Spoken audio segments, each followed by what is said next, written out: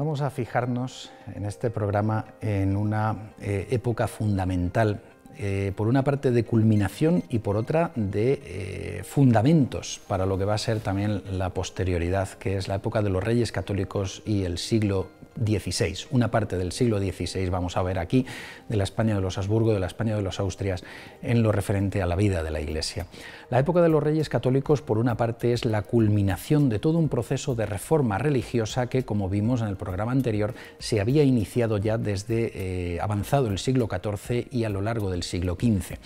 Eh, pero que los reyes católicos llevan a su mm, culminación. Y eh, esa reforma religiosa afianzada, eh, bien asentada, consolidada en el reinado de los reyes católicos, va a tener una proyección esencial eh, para lo que va a ser todo el desarrollo de la Iglesia española en los siglos posteriores, sobre todo ese momento de, auge de santos, de misioneros, de la teología española de los siglos XVI y XVII fundamentalmente.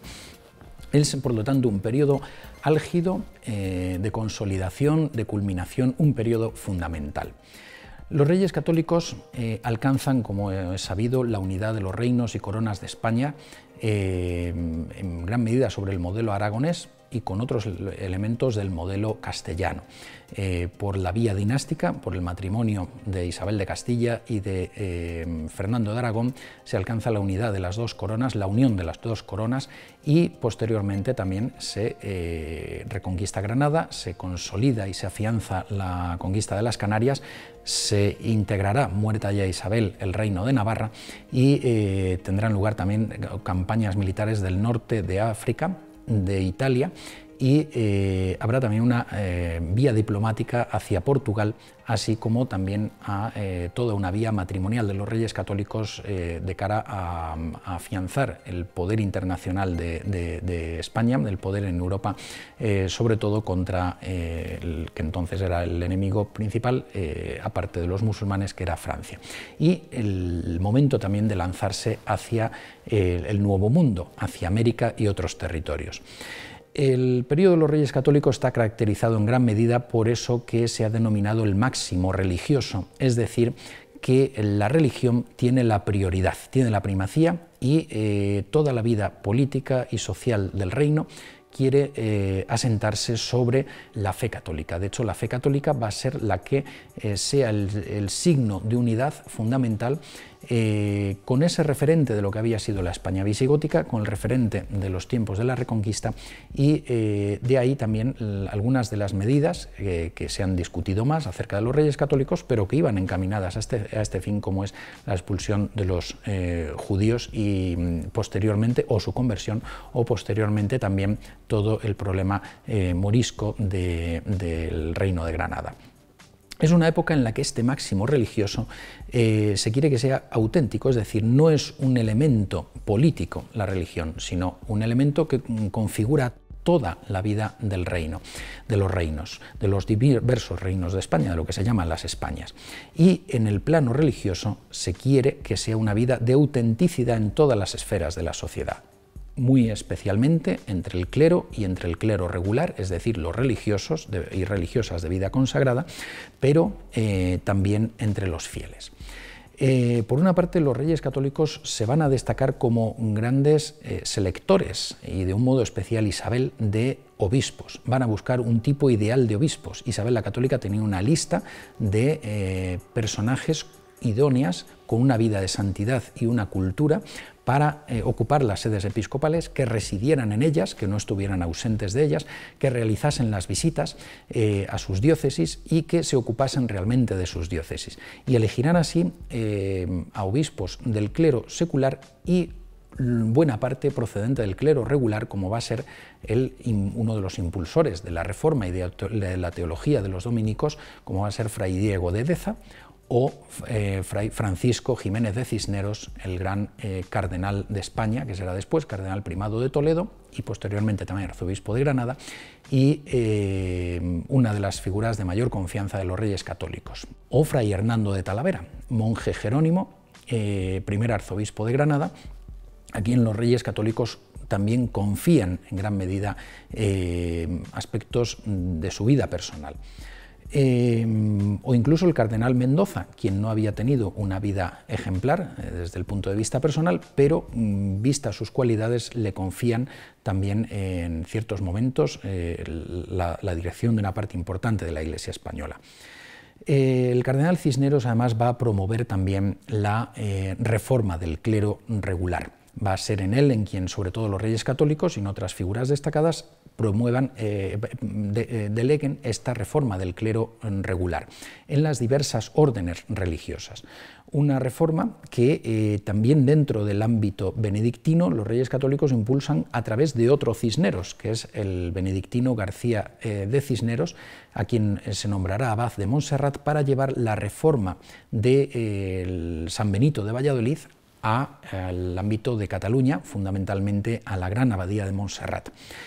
Y eh, también hay que señalar, por supuesto, en esta época, el nacimiento de una orden eh, religiosa nueva, como es la Orden eh, de la Inmaculada Concepción. Las concepcionistas, que se van a vincular muy pronto al franciscanismo por vía de Cisneros, de Santa Beatriz de Silva. Santa Beatriz de Silva es una de las mujeres del entorno femenino de Isabel la Católica, una mujer de plena confianza de ella y amiga íntima de ella, y resalta en ese círculo femenino donde otras mujeres del círculo de Isabel la Católica van a patrocinar también este nacimiento de las concepcionistas, junto con la propia reina católica. Dentro de estos planes de reforma destaca también eh, la creación de unos colegios para formación de sacerdotes, por ejemplo, por el cardenal Mendoza, entre otros. Y estos eh,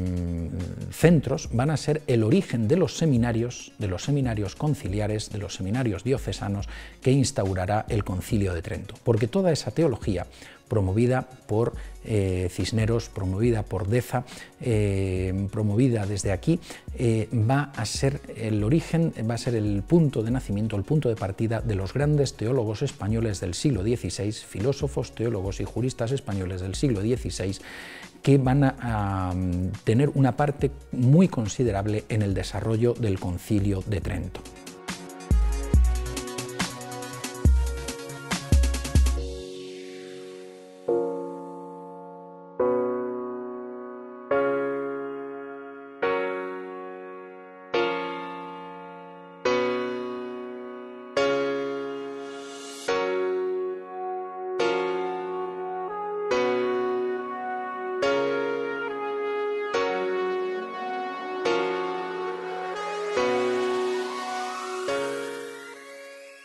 En gran medida tenemos que tener en cuenta también eh, que eh, va a producir la primera, los primeros pasos en la, evangelización de América, con las islas de las Antillas, con los primeros puntos del continente donde se va llegando, eh, en gran medida con una experiencia que ya había tenido lugar en la reconquista de Andalucía, en el Reino de Granada, en las Islas Canarias, con los reyes católicos y el primer periodo de los, de los Austrias, de Carlos I, va a tener lugar todo esto. Precisamente será en ese periodo de Carlos V cuando eh, tengan lugar eh, las, eh, las, juntas, los debates que se produzcan, que el mismo rey Carlos I, igual que lo hará luego su hijo Felipe II, y mm, como ya venía de tiempo de algo tiempo, de tiempo atrás, se reúna a una serie de filósofos, teólogos, juristas de lo más destacado de, la intelectualidad española, casi todos ellos religiosos, para tratar la legitimidad de la presencia española en, Indias, en América. El trato que se debe dar a los indios, el respeto hacia ellos, hacia sus personas, hacia sus bienes, algo que ya venía eh, establecido desde que Isabel la Católica en el codicilo de su testamento prohibió expresamente la, esclavitud de los indios desde el primer momento y en el codicilo dijo además que fueran bien y justamente tratados frente a las pretensiones de, alguno de los, de los que llegó primero, como el propio Colón. Eh, ella desde el primer momento salvó la libertad de los indios y en el codicilo pidió además que se eh, fueran bien tratados. Esto es lo que se proyecta también en esas leyes de Indias, todo un derecho